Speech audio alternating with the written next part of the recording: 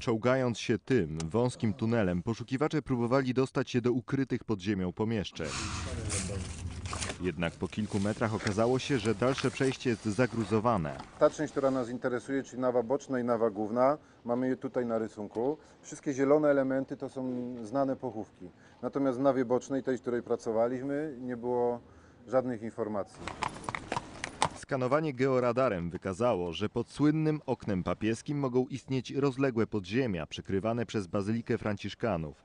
By to sprawdzić, badacze ze Stowarzyszenia Sakwa wraz z archeologami chcą zajrzeć pod posadzkę kościoła. Kształtuje się w nim historia naszego kraju, zapisana też na kartach franciszkańskiej historii najstarszego w Polsce obiektu k- klasztoru franciszkanów.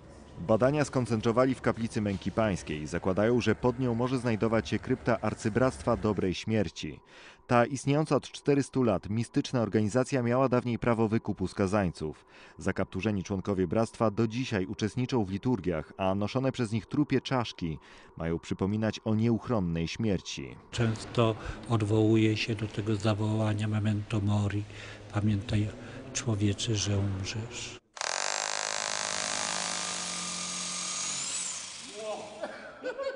Wiertło przebiło się do pomieszczenia, o którym nie ma wzmianki w klasztornych archiwach. Maski zabezpieczają badaczy przed mikroorganizmami żyjącymi w komnatach, do których nikt nie wszedł od setek lat. Boimy się grzybów, które są bardzo niebezpieczne e, dla płuc. E, To są, to są grzyby, które mogą zrobić nam dużą krzywdę, dlatego te wszystkie zabezpieczenia. By zajrzeć do podziemnych komnat przez kilkudziesięciocentymetrowe odwierty, muszą przez nie wprowadzić miniaturową kamerę. Czyli to jest taka dziurka jakby od klucza, dzięki której możecie spojrzeć i zobaczyć co jest niżej, tak? Dokładnie. Wkładamy endoskop i widzimy, co jest pod nami. Te zdjęcia potwierdzają, że pomieszczenie pod posadzką bazyliki to krypta. Zdaniem archeologów trumny są w bardzo dobrym stanie. Jesteśmy na brzegu trumny, tak. W tym momencie, zobaczcie. Jak chcecie, to możemy nawet zajrzeć do trumny. No, ale stara trumna bardzo, z ćwiekami. Jakie drzewo w ogóle No Jest duże odkrycie dla nas, dlatego że myśmy w ogóle nie wiedzieli, że tu są krypty.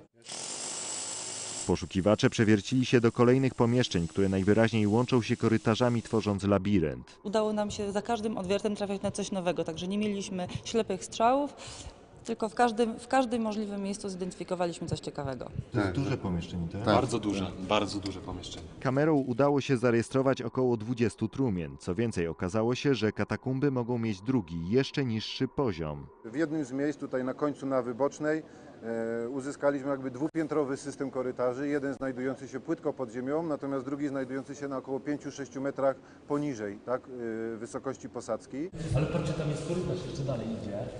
Spod, pode mnie idzie. W stronę ołtarza. W stronę ołtarza korytarz idzie, tak. Inny świat. Patrzcie. Ale zobaczcie, jak one są ułożone chaotycznie. Chaotycznie, tak. Jest... Ale to też jest jedna na drugiej. Stowarzyszenie stara się rozszerzyć zgodę konserwatora zabytków. Poszukiwacze chcą przebić posadzkę, by wejść do podziemi i sprawdzić, kto jest pochowany w nekropolii, nad którą codziennie nieświadomie przechodzą tysiące turystów i wiernych. Mateusz Kudła, TVN24, Kraków.